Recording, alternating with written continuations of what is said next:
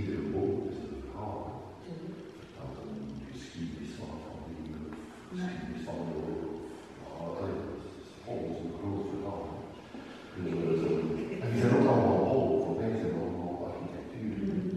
Dus die leven, ja, zijn de kortste.